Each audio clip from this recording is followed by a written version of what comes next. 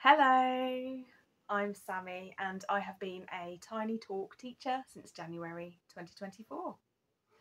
Come to my baby signing classes if you would like to learn through singing and play how to communicate with your baby using signs before they can talk and beyond. I have been told that my classes are warm, friendly, and supportive. You will be learning a new skill but most importantly, you will be relaxing and having lots of fun. I really look forward to meeting you. Goodbye.